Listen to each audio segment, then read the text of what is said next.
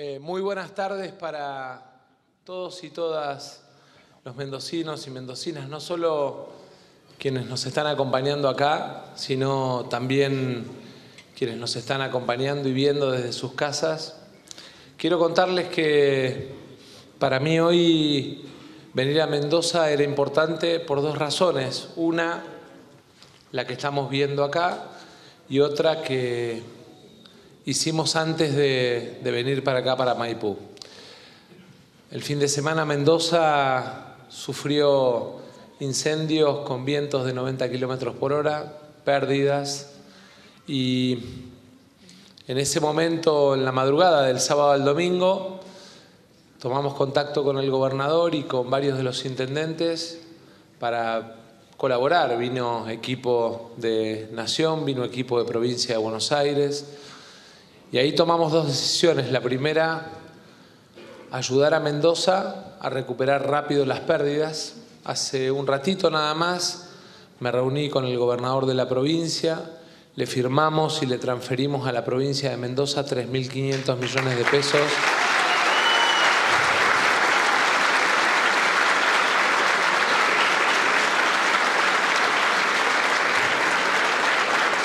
Entendiendo, entendiendo que gobierne quien gobierne en una u otra provincia, a la hora de gobernar tenemos que dar respuesta a los ciudadanos y a las ciudadanas. Después, en la política podemos tener nuestras diferencias, competir, pero a la hora de dar respuesta teníamos que estar. Y acompañar ese anuncio y esa medida con la decisión de que a cada uno de los cuarteles que trabajó de bomberos, eh, en los incidentes del fin de semana, el Ministerio de Seguridad les va a transferir desde el día lunes 10 millones de pesos de refuerzo a cada uno de los cuarteles, entendiendo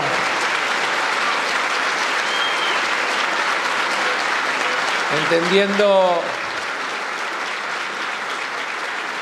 que si hay algo que si hay algo que tenemos que cuidar porque lo perdemos de vista hasta el momento que lo necesitamos.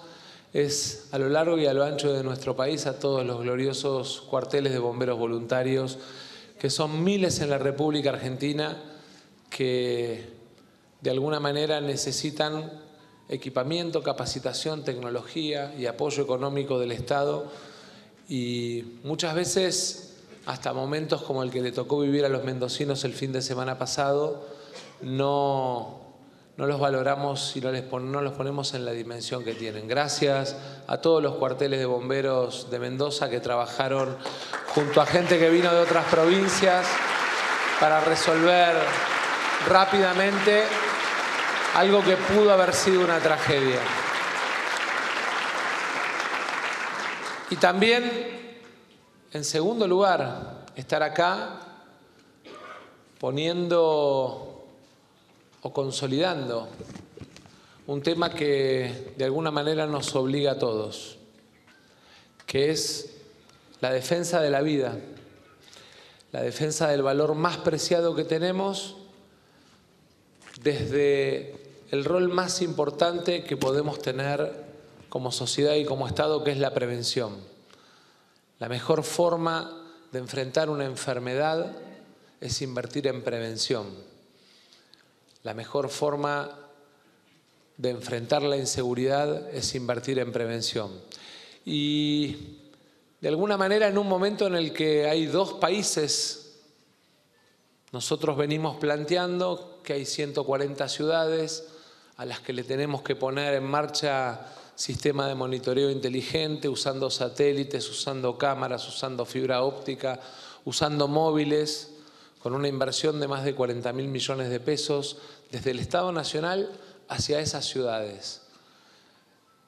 Otros plantean que sea cada uno el que se brinde el servicio de seguridad proponiendo la libre venta de armas. Y yo la verdad es que cuando escucho hablar de la libre venta de armas o de la libre venta de órganos o de la privatización de la salud o de la educación, pienso en qué país van a vivir nuestros hijos. Y creo que nuestra responsabilidad como amantes, como profundos y devotos de nuestra identidad como nación, tenemos la responsabilidad de cuidar lo que son los bienes colectivos para no caer en esa lógica del sálvese quien pueda que nos lleva definitivamente a la disolución como país, como nación, en relación con las provincias, pero también en la relación de convivencia social. Hoy lo estamos haciendo en municipios, algunos que son de nuestra fuerza política, otros que no. Y lo estamos haciendo además acompañado de legisladores de nuestra fuerza política y de otros legisladores que nos enfrentaron en la última elección y que hoy están acá acompañándonos, entendiendo que la lucha contra la inseguridad y la política pública de seguridad debe ser una política de Estado y debe ser una política que no esté sometida al debate electoral, sino que de alguna manera sea garantía de todas las fuerzas políticas y de todos los dirigentes políticos. Sí quiero decirle a los mendocinos y a las mendocinas mi compromiso, porque allá por el año 2008, cuando este diseño de centros de monitoreo inteligente y de sistemas de cámaras y de sistemas de móviles lo ponía en marcha en mi ciudad, no lo hacía desde hacerme cargo de un problema que no era en ese entonces de los municipios, era de las provincias, hoy sigue siendo en muchas provincias de la provincia, sino que lo hacía con la convicción de que yo tenía que convertir a mis vecinos en dueños de la calle, en dueños del espacio público, y tenía que hacerles sentir a los delincuentes que no eran más dueños del espacio público ni de la vida ni de los bienes de otras personas. Me pasó de haber vivido un hecho muy dramático, muy cerquita de mi casa, tres cuadras. Mataron a un chico de 17 años y atiné a ir corriendo a la casa de esa familia y cuando salí de ahí, después de compartir el dolor con la mamá y con la hermana, me autocomprometí, me autoconvencí de que en cada lugar que estuviera ejerciendo la función pública iba a pelear por la defensa de la vida y la seguridad de los bienes y de las personas. Bajé...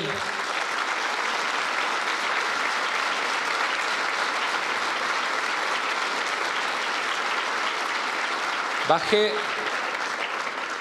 bajé más de 80% el robo automotor, bajé más de 47% todos los delitos.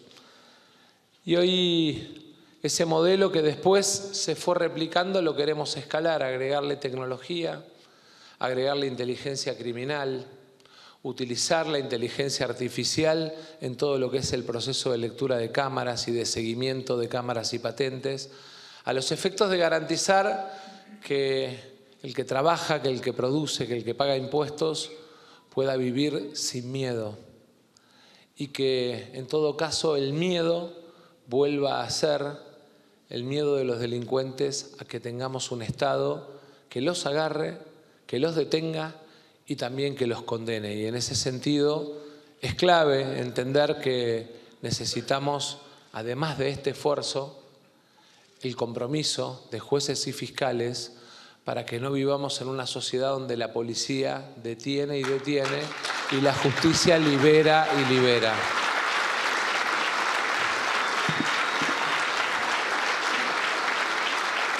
Yo quiero, yo quiero agradecerle a cada uno de los intendentes, a cada uno de los departamentos de esta provincia que deciden acompañarnos en el esfuerzo de que los argentinos vivan sin miedo. Y quiero aprovechar este encuentro para dejar un mensaje a los mendocinos que muchas veces miran la relación con la nación desde una dinámica de sentir que se los discrimina. Si el 10 de diciembre soy presidente voy a gobernar para todos. Estuve cuando... Estuve cuando... Estuve cuando las heladas tardías y el granizo destruyeron la producción y dejaron sin expectativa a la mayoría de los mendocinos, sin que nadie me lo pidiera, sino entendiendo que era mi obligación. Estoy hoy para recuperar a la provincia de las pérdidas millonarias por los incendios. Estoy hoy acompañando en uno de los principales problemas que tiene esta provincia, como es la lucha contra la inseguridad. Estoy hoy acompañando a los mendocinos resolviendo una pelea de meses para que Mendoza pueda recibir desde el día lunes, como va a recibir, el subsidio nacional al transporte. Ustedes saben...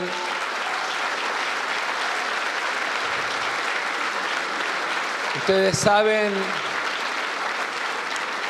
Ustedes saben que el transporte de la provincia de Mendoza tiene una componente de financiamiento para que la gente no pague caro el boleto de subsidio nacional.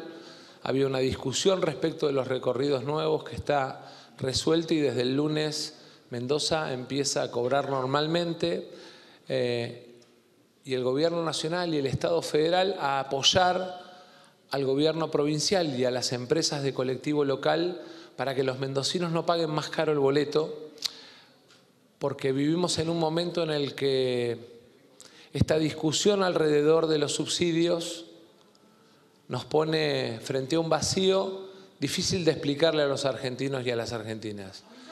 Quiero, quiero, quiero por último, y entendiendo qué representa el subsidio, hablar muy claro porque faltan pocos días para el 19 de noviembre. Cuando, cuando vamos a apagar la luz, tenemos que saber que la propuesta que compite con nosotros en la elección, eliminando el subsidio, va a llevar la boleta de luz de los mendocinos a dos veces y media. Que cada uno haga la cuenta en su casa. Cuando hablan de eliminación del subsidio al transporte, cada mendocino y cada mendocina tiene que saber que va a pagar el doble el colectivo. Cuando hablan de eliminación de subsidio en la generación y producción de gas, cada mendocino y cada mendocina tiene que saber que a pesar de ser dueños de un pedazo de vaca muerta, van a pagar una vez y media más la boleta de gas. Cuando hablamos de eliminación de subsidio en lo que son, por ejemplo, los mecanismos de protección de los jubilados, cada jubilado y jubilada mendocina tiene que saber que eso que hoy se llama mejor vivir y que son medicamentos gratis, le va a costar 21.300 pesos por mes porque si no, solo hablamos de títulos y no hablamos de cómo impactan en la vida de la gente. Yo entiendo que debemos recorrer un camino de orden en las cuentas públicas. Entiendo también que el año que viene vamos a tener, por trabajo y por fortuna, los argentinos la posibilidad de crecer en 40 mil millones de dólares en nuestras exportaciones. Y eso va a fortalecer nuestra moneda. Entiendo que de alguna manera tenemos que lograr las mejores condiciones para que nuestra economía fluya al máximo, pero nunca, nunca que sea a costa del bolsillo de los y las argentinas. No es...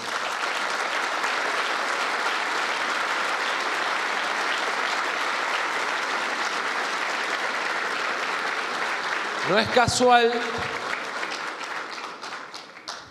que tras el lockout o el cese de comercialización de las petroleras apareciera la propuesta de liberación de precios. Quiero contarle a cada mendocino y cada mendocina qué significa liberación de precios. Significa que pagarían el litro de nafta 800 mangos, ni más ni menos que eso. Y es muy importante que en estos 10 días que quedan, en cada rincón de la provincia, vayamos no solamente a contarles a los argentinos y a las argentinas el país de producción, de trabajo y educación que tenemos en el corazón y en la cabeza, sino también cuáles son las diferencias entre uno y otro proyecto de país. Porque la diferencia central es que mientras nosotros peleamos como Estado para que el esfuerzo caiga en cabeza de los que más pueden, la motosierra golpea en el bolsillo de los jubilados, en el bolsillo de los trabajadores, en el bolsillo de los productores y en el bolsillo de la clase media mendocina.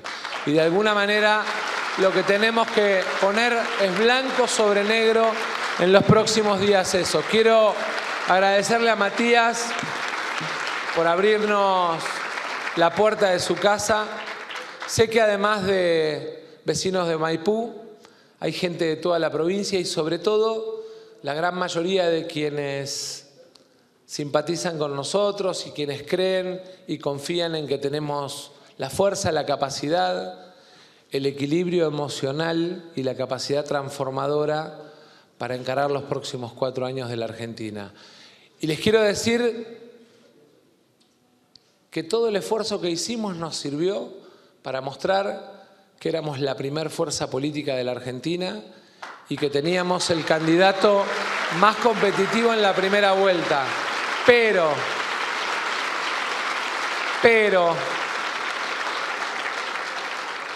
que todo ese esfuerzo que hicimos, si estos próximos 10 días no hacemos un esfuerzo de comercio por comercio, lugar de trabajo por lugar de trabajo, casa por casa y barrio por barrio, para ir a abrazar a los mendocinos y las mendocinas que aún no confían en nosotros, habrá sido un esfuerzo vano. Por lo tanto, les quiero pedir que hagamos un último esfuerzo y que le digamos con mucha tranquilidad a cada mendocino y a cada mendocina que el 10 de diciembre empieza una etapa nueva en la Argentina, que vamos a un gobierno de los mejores, que vamos a enterrar la grieta y que vamos a construir ese país federal por el que tanto pelearon y por el que tanto de alguna manera luchan día a día, sobre todo en el interior del interior de la Argentina. Gracias Matías, gracias a todos los intendentes.